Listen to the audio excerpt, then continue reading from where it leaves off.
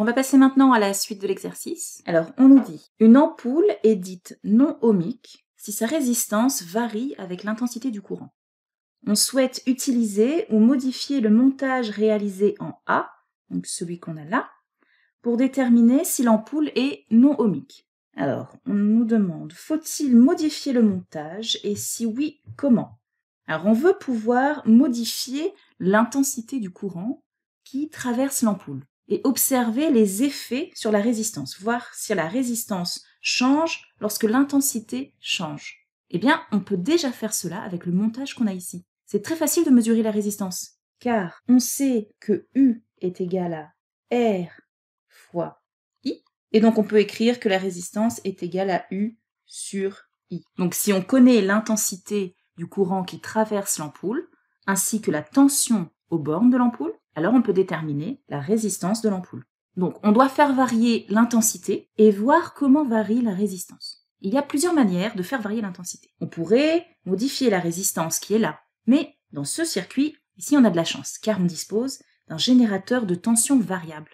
On peut faire varier la tension délivrée dans le circuit. Et en modifiant la tension, on va modifier l'intensité du courant délivré. Comme c'est un circuit simple avec tous les éléments en série, le courant n'a qu'un seul parcours possible, donc il fait comme ça, il va, il parcourt la maille, il revient ici. Donc lorsqu'on modifie le courant délivré par le générateur, eh bien, on modifie le courant qui traverse l'ampoule également. Et donc, il nous suffit de mesurer U et I, puis de calculer R et de voir si R varie. Ainsi, pour répondre à la question faut-il modifier le montage? Si oui, comment? Alors, on va écrire la réponse ici, un peu plus bas. Donc, c'était la question C. Eh bien, non, aucune modification n'est nécessaire. Et on va préciser cette réponse. Donc, je peux modifier l'intensité en faisant varier la tension du générateur. Et ensuite, je peux calculer la résistance de l'ampoule euh, de la manière suivante. On a dit que c'était la tension aux bornes de l'ampoule, que je mesure avec mon voltmètre, et je divise cette tension par l'intensité à l'entrée ou à la sortie de la résistance. Alors oui, si tu te souviens de la première partie de l'exercice, on se demandait s'il y avait le même nombre d'électrons par seconde à l'entrée et à la sortie de l'ampoule. Alors d'après ce qu'on sait du courant et de la conservation de la charge, l'intensité sera en effet la même de chaque côté de l'ampoule. On aura bien une tension ici, une différence de potentiel, mais l'intensité, elle, va rester constante. Donc on va pouvoir prendre la mesure de cet ampèremètre ou de celui-ci, la valeur sera la même. Et puis même si tu ne le savais pas, en réalité, avec euh, la première partie de l'expérience, tu serais arrivé à cette conclusion. À savoir que l'intensité à l'entrée et à la sortie sont identiques.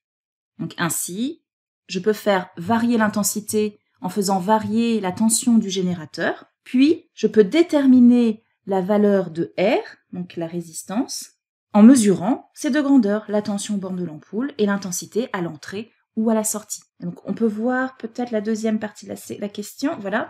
Donc on nous demande doit-on récolter des données supplémentaires? Si oui, lesquelles? Eh bien, c'est ce qu'on vient de dire, on va le préciser un peu plus, mais oui, car il faut mesurer alors deux données. Donc il faut mesurer la tension, comme on a dit, aux bornes de l'ampoule. Cette tension, on va la mesurer en fonction de la tension délivrée par le générateur. Et puis on va aussi mesurer, pour pouvoir calculer la résistance, l'intensité à l'entrée ou à la sortie.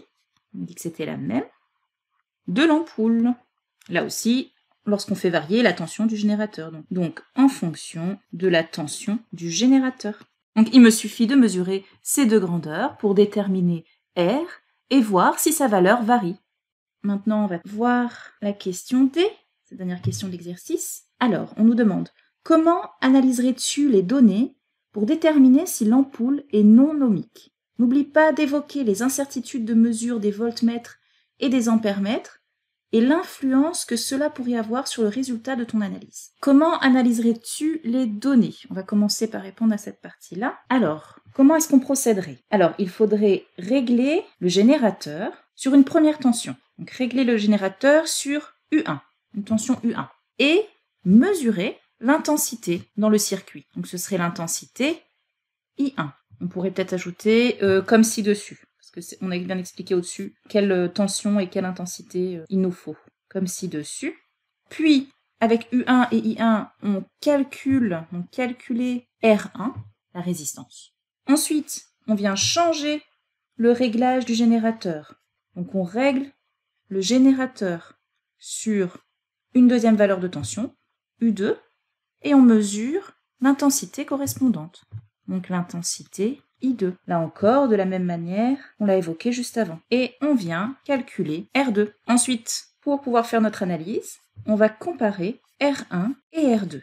Pour rappel, pour calculer R1, on va faire U1 divisé par I1, et pour calculer R2, on va faire U2 divisé par I2. Comment est-ce qu'on va interpréter les résultats? Eh bien, si R1 est égal à R2, alors on va reprendre la définition.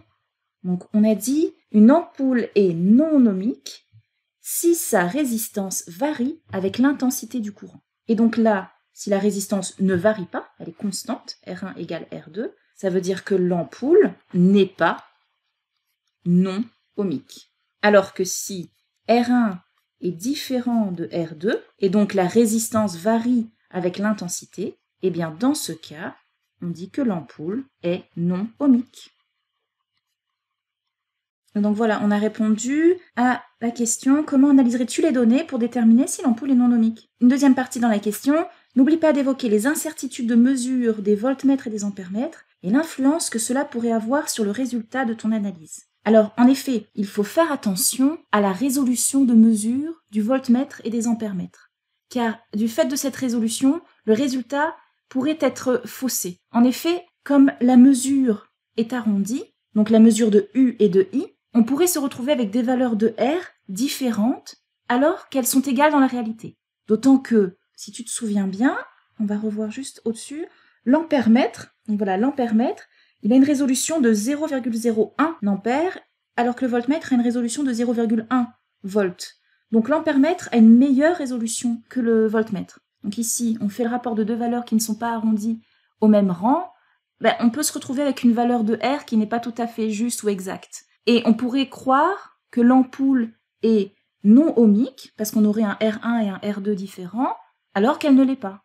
Et réciproquement, la différence entre R1 et R2 pourrait être trop faible pour être détectée par les instruments, car la différence ne rentrerait pas dans cette plage de détection. Et alors, on pourrait croire que l'ampoule n'est pas non ohmique, alors qu'elle l'est. Et donc, pour préciser la réponse ici, il faut donc faire attention à la résolution des instruments, car le fait d'arrondir à 0,01 ampère ou 0,1 volt près pourrait donner un rapport U sur I différent, alors qu'il ne l'est pas.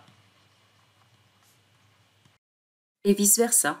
On pourrait croire que les deux valeurs sont égales, simplement parce que la différence entre les deux est trop petite pour être mesurée. Et ça, c'est quelque chose qu'il faut garder en tête dans toute expérience scientifique. Il faut tenir compte de la résolution des instruments et des conséquences de l'utilisation de valeurs arrondies pour faire des calculs.